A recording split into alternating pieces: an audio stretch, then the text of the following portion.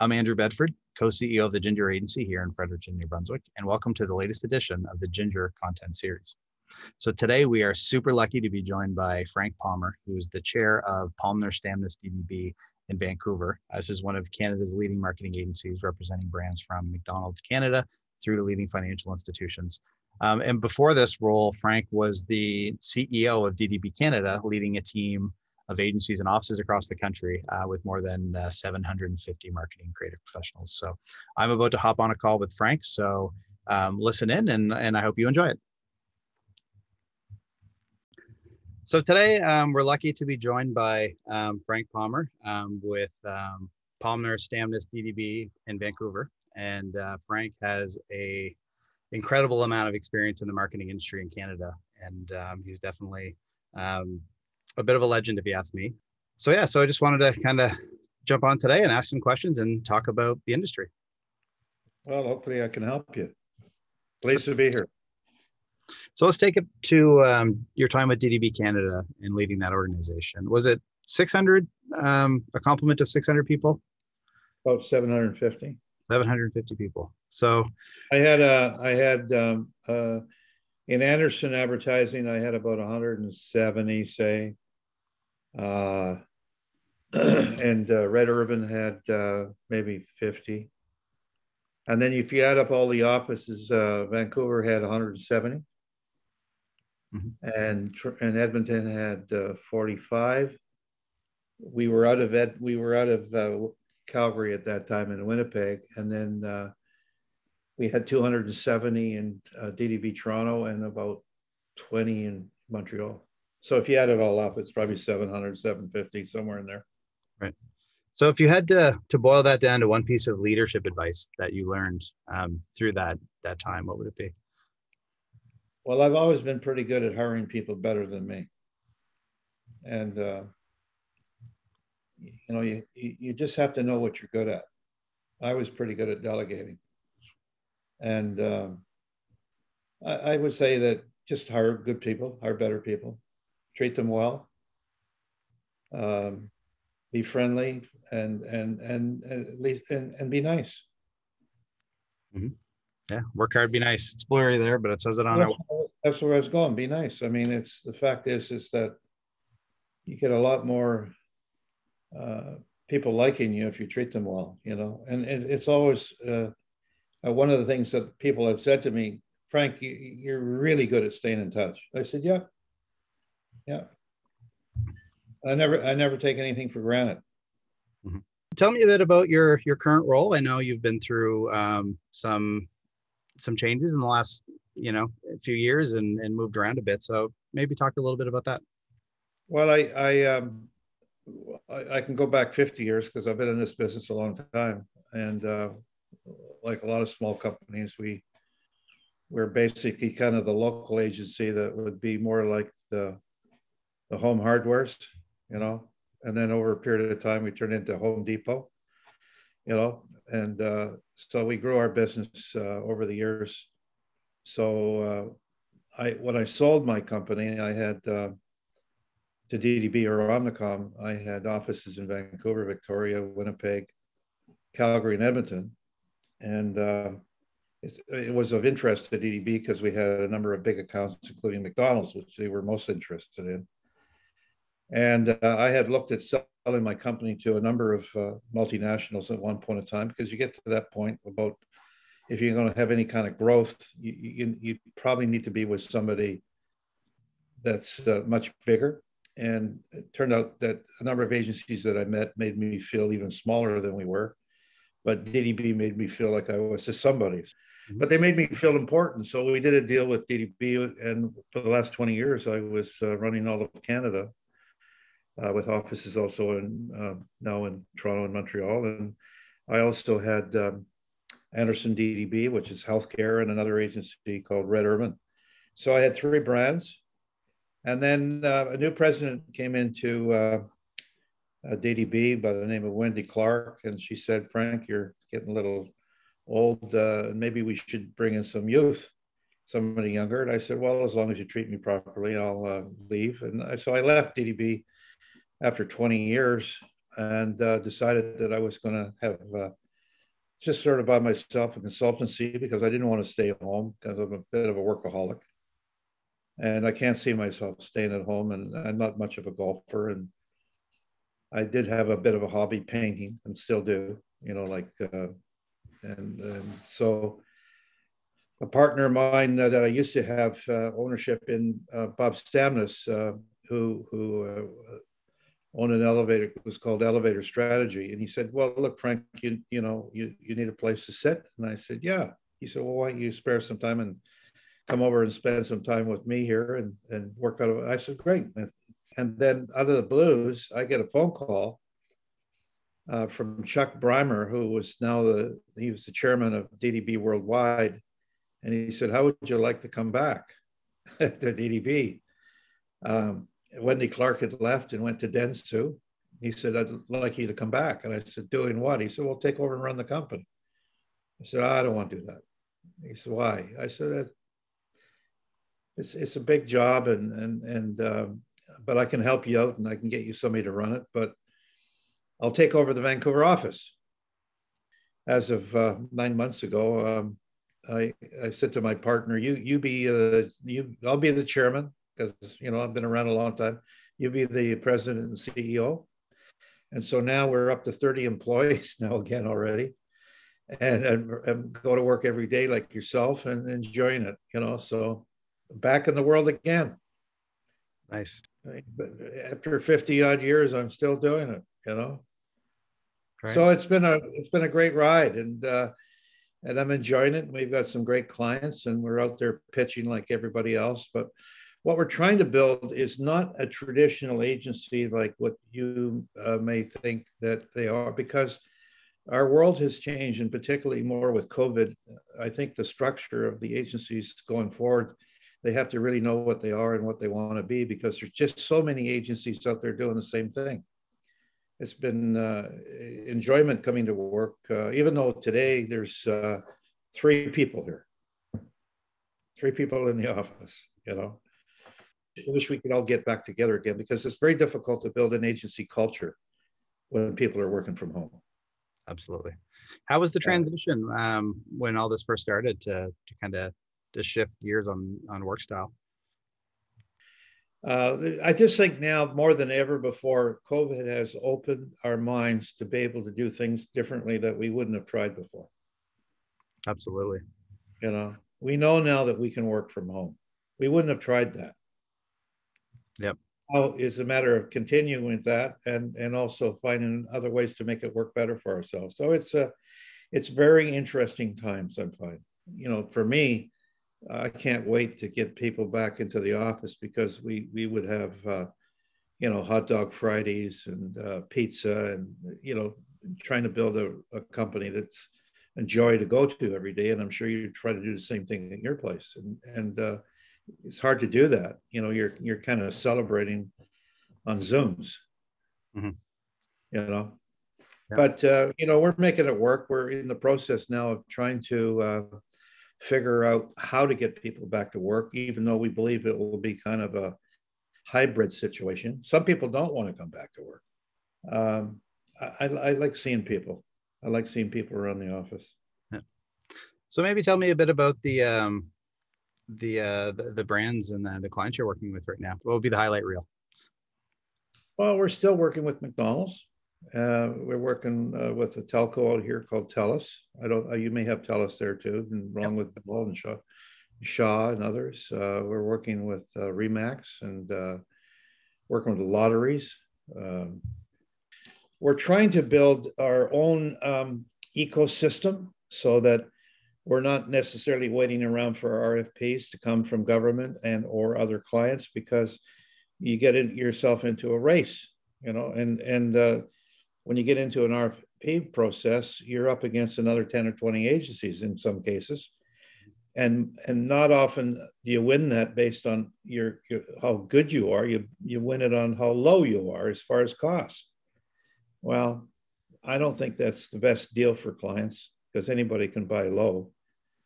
And um, so what we want to do is we're, we're creating a, some of our own opportunities. Like we've created what we call the PS Hive, And that is a company that we go out and we say to a young uh, company who an entrepreneur says, look, we need your help. So we say, we'll give you space in our building and we'll give you advice and we'll give you counseling and mentoring.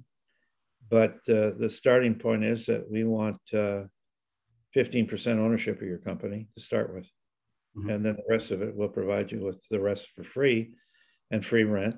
And then if we help build your business, uh, we get paid based on success. And so we've got two or three companies that we're working with in that area now. And uh, and we've also are creating a company called the Ethical Food Group, and uh, we're working with uh, companies that are in energy drinks. We're launching a beer, working with plant-based foods. So a lot of these things that we're working with will never go to an RFP because we have an interest in. Them. So what we're doing is pretty exciting because we're we're very entrepreneurial, and and these businesses that we're creating are, are quite exciting because we can watch them grow. Absolutely. Okay. Um, I'll ask you another question. So, I believe you got started as an illustrator. Is that true? But I went to the Vancouver School of Art, uh, which is now called Emily Carr, for uh, two years, and then that's how I started off in the business as an artist. I got a job at a television station right out of school. So, what do you think about the change? If you could like quickly reflect on the world of manually preparing camera ready artwork to today, where we have, I don't know, the the CG abilities and you know the ability to create a 3D rendering of, we can essentially create anything. When I went to art school, um, if you were doing a name of a store, and and and, and it was Frank's uh, Hardware, uh, you had to pick a type style and you had to draw it with a with a pen and a pencil and you had to do it all by hand. And back then people won't remember that there was lead type that used to come out of a machine that when you typed everything in the lead would come down well then after, i learned how to do all of that there was this other process that came in called letraset letraset was rubbing down the letters where you could rub down frank's hardware then after that, the computer would do it all for you. But I'll tell you, it's it's really remarkable what you can do today because you can watch some of these new animated uh, films and you, you swear you swear that they were alive. It's so unbelievably good. I mean, so I'm not knocking what they can do today because they can do a lot more than I could ever figure out. But I still believe that uh, there's still a lot of value in in being able to draw, just being able to draw. Right. Yeah. So I would I would still recommend that students go back to school to learn how to do that. Yeah, I I feel like um, stylistically, I think the world peaked around 1967. Now, the world's improved a lot in a lot of ways since then, but I think the advent of desktop publishing maybe pulled design and, and digital art in a different direction that was off track from evolution of art up till that point. and i think we're now just getting back to the point where we're um, designed for the sake of you know design as a as a sophisticated career choice versus anyone who can open photoshop so uh, I'm, i've been excited to see the return to the you know more of traditional artistic sense so so would i i mean um, you know i I, try to watch my tongue at times uh, when I see certain artwork. Uh, you know, uh, Jackson Pollock used to drop paint on the floor and drip it on the floor, and, and you know, and he'd come up with a painting, and somebody would say, "I can do that." I said, "Well, try. Go ahead and try." Mm-hmm. He learned how to drip paint on the floor and, and made it look interesting. Uh, you try to do that. Somebody says they show me a, a abstract painting and they go, "Oh, I can do that." Try. There still is a skill to it. Nice. But it, I think that being a, being inquisitive, always find finding a different way to do things, you know, mm-hmm. Is is is what makes us differently in this business. Because if clients come to us for for for uh, solving their problems. They know they can't solve them, so that's why they come to us. And I think the thing is, we just have to be able to be in a position to charge them what's fair. exactly and to be the people that know exactly what to do and when to do it yeah yeah so yeah it's uh, but I'm, I'm, I'm, as i said i'm still having a lot of fun doing what i'm doing nice. after all these years you know i'm lucky. I'm lucky. To be an agency uh, in a market leading position it means you've got a team full of amazing people that could easily find a place somewhere else.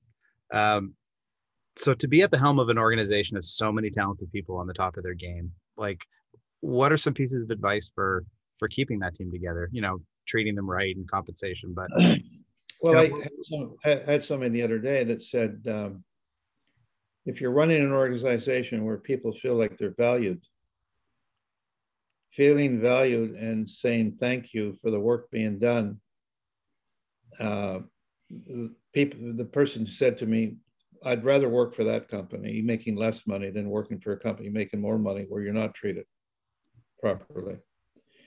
And, and I think that our organization not only treated them well and paid them well. And if you do that, you're going to have a lot of loyalty with people who never want to leave. I mean, when when I uh, when when I I had people that were 25 years, 30 years.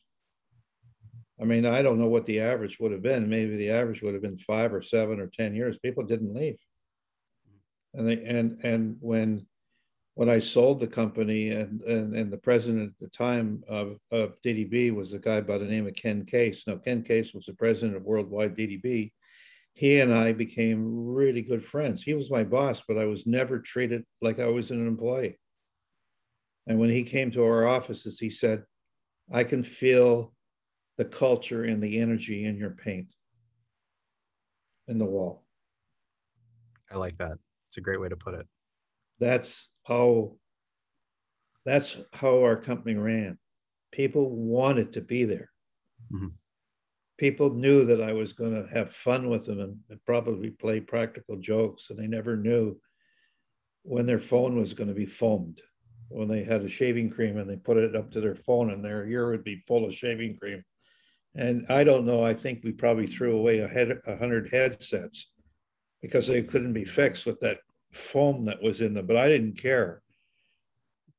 but I mean, it's it, it's the atmosphere that you build around the company. I said I take what I do seriously. I don't take what I do.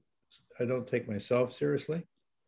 But I damn, I'll, um, I'm a very competitive guy, and I'm out to win, and I won't take prisoners.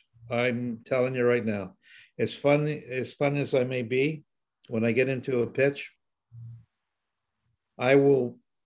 Bob Stamnes said the difference between Frank and everybody else is Frank goes to work after the pitch has been made. Right. I work the I work I work it after the pitch has been made hmm. because that's where you end up winning. Right. That's good advice. Anybody in the never stop. If just because you made your presentation doesn't mean you should stop then. You got to keep working it. All right. I got to write that one down. Um, okay. Um, now you've worked on a lot of campaigns throughout your career. Is there a favorite? Oh, there's a number of them. I mean, um, I think that uh, I mentioned uh, I do this thing called Frankly Speaking, mm-hmm. weekly. It's a weekly article that I I send. I don't know whether you get it or not, but I send it out every week. Um, I, I, I think that the last week, this week's was uh, talking about uh, in 1995, we, we were handling the Hudson Bay Company and it was their 325th anniversary. And um, one of the things that we had discovered uh, uh, uh that we were going to do is we were going to hold a. I came up with the thought of having a concert, an outside concert, and we'd hire all these Canadian acts because um, and we would hold this outdoor rock and roll concert. Well, have I ever done one of those? No, but doesn't mean to say we shouldn't try. So we ended up having this concert in big called Big Sky in uh, Alberta, and uh, I had gone out and uh, with through this uh, other friend that I had hired to do all the talent, but we had uh, Anne Murray and uh, Bryan Adams and putting on this huge concert with three days. And I'd been backstage and I sort of met all these artists and people. And and so that was one of those kind of things that I forgot about doing. But I think that if you look at some of the commercials, uh, one of the ones that I can remark on uh, was when we did the Greyhound Air launch. And uh, we had come up with the idea where the Greyhound dog uh, goes and whizzes on the front wheel of the airplane and marking new territory was the line. And uh, I had to go and sell that to uh, a bunch of board members in Greyhound Air, and and it turned out that there was like about twenty of these gentlemen that would have been my age probably now, stiff, you know, stiff. You know, I had to walk in and sell this, and I walked in and I showed them what was happening. The dog would go over and do this, and and and the silence seemed like forever. It was you know about twenty seconds, and then one of the board members said it's probably the best damn commercial I've ever seen, and the rest of the board members all clapped, and we got to do the commercial. And, and it turned out to be one of the better ones, even though Greyhound Air got started off too late and the company didn't survive. But the interesting thing about that commercial was we actually had the dog practice on a wheel that wasn't on the airplane because if the dog had got loose at the airport, but it was uh, because we had practiced with the dog before that, it was one take. Dog went out, did his job, and uh, that was it. The commercial was all done in one take. And uh, so, I mean, there's all kinds of these memories that come up over time when people ask me questions. And, uh, uh, you know, there's all kinds of these great memories now that I'm starting to think about it. It's starting to worry me a little bit because it's kind of like, what am I doing? I'm writing the information on my epitaph. I'm putting a, what would you have on your tombstone, Frank? You know, you know, it, you know, it's. Uh, um, anyways, it's. Uh, I. I, I appreciate you taking the time to talk to me. You know. Well, it's interesting. Like we met through. Maybe we'll close with a quick question around TCAN. So we met through the Canadian Agency Network. Um, Ginger is one of the the newer members of that network, and it's been around since um, the '60s, I think. And uh, um, 24 agencies, independent marketing agencies across Canada. Um, so maybe tell me a bit about why you think TCAN is such a wonderful organization. It's kind of like what you're asking me now. You can probably ask the other 25 or 30 members of about experiences, what worked and what didn't work. Um, I think TCAN is a, a great association that if you're stuck, and you want to find out something and somebody who's got some information on a particular client or service or uh, you know where you don't know something you can ask somebody and they're going to give you the advice i think it's a network of fellowship uh, where we're all entrepreneurs and we're all learning from each other so i think that's where the value comes in i use i talked to the i was talking to one of the members just before our call today and uh, asking for some advice on something. So even myself, I I don't look at myself knowing all the answers. You know, somebody else has worked on something that's gives them gives me more experience because we don't have that experience. So use it for what it is. Mm-hmm. It's a network of of of uh, of uh, people who have uh, done things uh, right and probably more times wrong. Right. That's what that's what growing a business is all about is uh, it's it's probably more about how you handle losing and how you learn from that versus the wins so that's yeah. how you get to the wins so yeah I, I we've lost more than we've won mm-hmm. and and you just you got to get up right and do it again yeah so so uh, for me it's just a matter of getting up and being better next time at what we do exactly Okay. Well, I think we're coming to the end of our time now. Any um, parting words or parting thoughts? No, I'm just glad that uh, at, at uh, my stage in career in life that people are interested in still talking to me, you know. Well, thanks for your time today. Um, it's great chatting. I'll uh, I'll tag you in the post when it goes out, and uh, I look forward to uh, the next time I see you on the TCAN call or at the next TCAN conference. Yeah, great. Have a nice day. Thanks. Bye bye. Okay. Bye bye.